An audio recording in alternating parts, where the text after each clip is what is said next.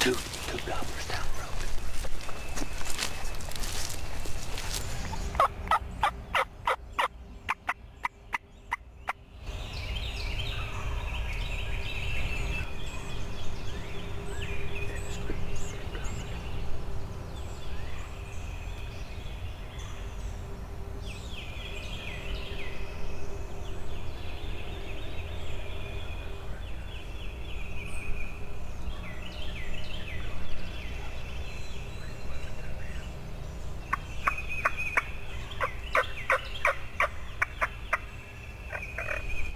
A spinning drumming. Yeah, look to your right, Freddy. In the road, in the road. Right.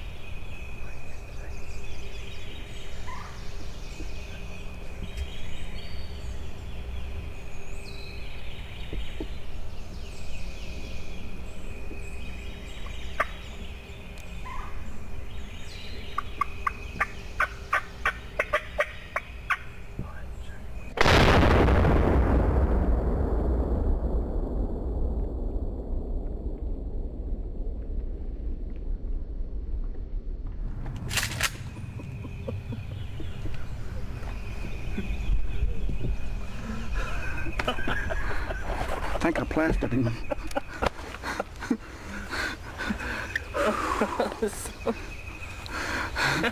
I was getting so tired because I held that gun so long on that last one. he was in, he's in a road strutting.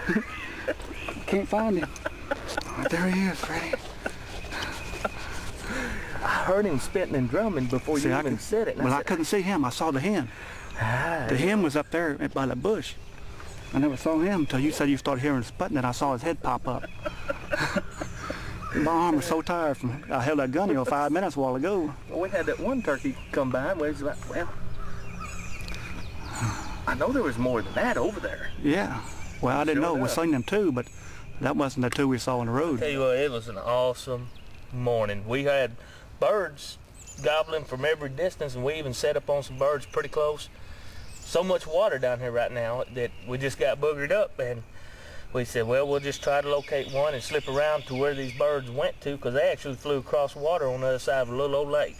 And just taking our time, doing a little crow calling, every now and then a little hen calling, and it didn't strike this bird, but what it done was it slowed us down enough to where we didn't bump this bird. Yeah, we We- walked right up on it, saw that- it, saw it down the road about 50, 75 yards, and we just kind of backed up and set up on it. And he just walked up on it. That's pretty much it. Just a little bit of light calling, and I mean, and it set the stage. And and actually, there was two gobblers, and the other one went out wide, Yeah, he, and it wasn't very good video. So we, we didn't, you didn't but we, shoot. had, but we had him at 30 yards, but he never strutted to give us any good video, so we said, well, wait. And I really, I didn't know the other one was there. and then uh, you said started something about it spitting and drumming. I said, oh yeah, there he is, Freddy to the right over there. So I mean, it was uh, it's one of those things where if you'll slow down, take your time, you're, you're go, and you- you're going to you're going to not bump birds. You're going to spot more birds, and I mean, so that that right there is a good tip. Just take your time because the morning will unfold, and if you'll do that, a lot of times you'll come out the victor on the the far end of things. But I tell you what, buddy, it's two years in a row, and I can't wait to come back to Swamp Bucks next year and do this again. This is awesome. Been an awesome, awesome week. we'll sure do it. Man, again. let's get on out here because we got a heck of a track Yeah, hike. we got a long way to go. We start off on the other side of the property.